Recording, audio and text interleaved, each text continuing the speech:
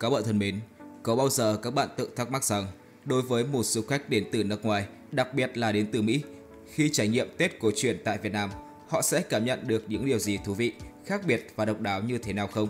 Hôm nay, chúng ta sẽ cùng nhau khám phá qua một video của một cặp đôi vợ chồng đến từ Mỹ có tên là Mike và Ashley. Cặp đôi này đã có một chuyến du lịch đến Việt Nam vào đúng dịp lễ đặc biệt và quan trọng nhất trong năm, đó là Tết cổ truyền của dân tộc. Vậy hành trình của họ tại đất nước với nền văn hóa đa dạng và khác biệt với phương Tây này diễn ra như thế nào? Các bạn hãy cùng mình theo dõi hết video để khám phá cùng cặp đôi này nhé! Chúng tôi đang ở Hà Nội, Việt Nam để đón Tết. Tết Nguyên đán là dịp lễ quan trọng nhất của người Việt Nam và chúng tôi đã may mắn có dịp trải nghiệm ngày lễ đặc biệt này ngay tại thủ đô Hà Nội. Khi bắt đầu chuyến hành trình, chúng tôi mang theo một chút lo lắng và một sự tò mò, không chắc chắn về những gì sẽ diễn ra. Qua những thông tin chúng tôi tìm hiểu trên mạng, nhiều người nói rằng Tết là thời điểm để mọi người trở về quê nhà, khiến các thành phố lớn trở nên vắng vẻ và tĩnh lặng. Tuy nhiên, những lời khuyên từ những người theo dõi chúng tôi trên mạng đã thôi thúc chúng tôi đi và tự mình khám phá. Và những gì chúng tôi tìm thấy thực sự là một bất ngờ lớn. Hà Nội vào những ngày giáp Tết giống như khoác lên mình một chiếc áo mới, rực rỡ và tràn đầy sức sống. Khi bước chân vào khu phố cổ, chúng tôi ngay lập tức bị cuốn hút bởi không khí nhộn nhịp và đầy màu sắc nơi đây.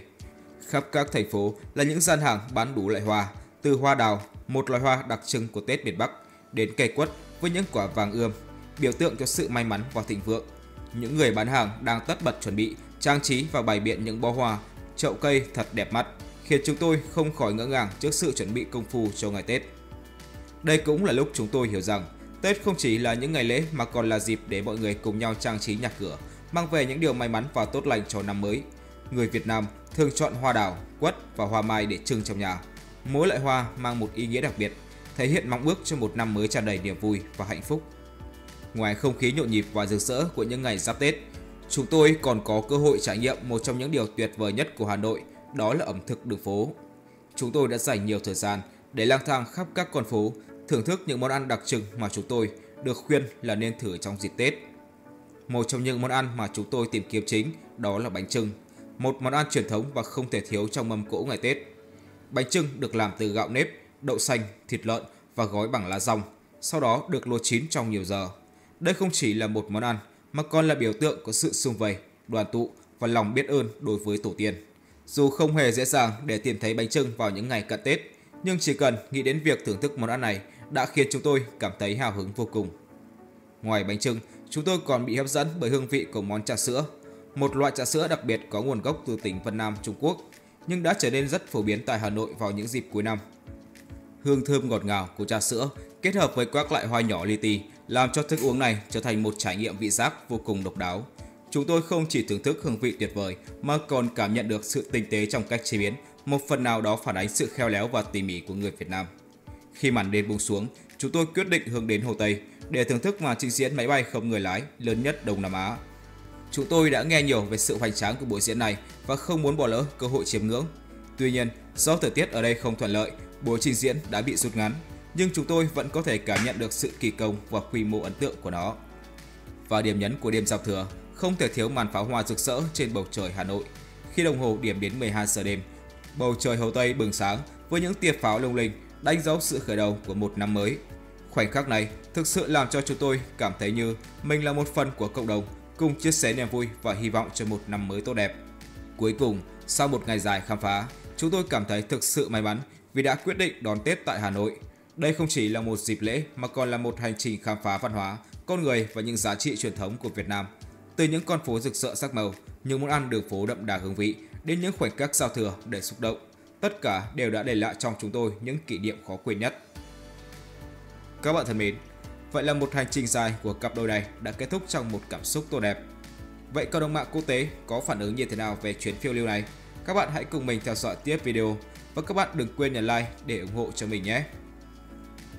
Tôi đã thấy điều này vô số lần, nhưng tôi luôn mỉm cười khi nhìn thấy các thành phố và quảng trường ở Việt Nam có rất nhiều gia đình với trẻ nhỏ, nhóm thanh thiếu niên và người trẻ Việt Nam tận hưởng không khí và cảm thấy an toàn, hạnh phúc và tự do. Tại sao lại khó tìm được một nơi như vậy thường xuyên diễn ra ở Mỹ như thế này nhỉ? Tôi nhận ra rằng video này đã được quay trong dịp Tết, nhưng vào những ngày cuối tuần bình thường, các thành phố ở Việt Nam cũng rất vui tươi và nhộn nhịp. Với tư cách là người Việt Nam, tôi có thể giải thích một số lý do. Nhưng trước tiên, xin lỗi vì tiếng Anh của tôi không tốt. Chúng tôi có truyền thống tôn trọng gia đình và tổ tiên của mình. Trong các video, bạn có thể thấy người ta đốt giấy trên đường phố. Điều đó có nghĩa là chúng tôi đang gửi tiền, tiền và tài sản giả cho tổ tiên của chúng tôi ở thế giới bên kia, vì chúng tôi không muốn tổ tiên của mình bị đói hoặc lạnh trong thế giới bên kia. Khi trẻ em Việt Nam đến tuổi 18, chúng tôi không bắt buộc phải rời khỏi nhà nếu mong muốn. Và hơn 90% số gia đình của chúng tôi không muốn con cái rời xa. Vì cha mẹ không muốn con cái mình quên nguồn gốc của mình và lo lắng rằng chúng có thể trở thành những người xấu nếu không có sự chỉ dẫn tốt từ cha mẹ, ngay cả khi chúng đã trưởng thành.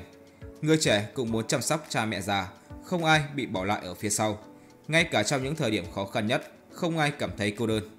Vì vậy, sự kết nối giữa các thành viên trong gia đình Việt Nam là rất mạnh mẽ. Chúng tôi sẽ ở bên nhau và chia sẻ mọi thứ với nhau, từ hạnh phúc đến nỗi buồn. Chính phủ Việt Nam khuyến khích mọi người tôn trọng và tri ân gia đình của mình. Bởi vì nếu chúng ta có một gia đình tốt thì xã hội của chúng ta cũng sẽ tốt. Từ ngày mùng 1 đến ngày mùng 7 tháng Giêng là Tết. Đây là thời gian mà chúng tôi dành cho gia đình và bạn bè. Sau Tết là thời gian sôi động ở Việt Nam.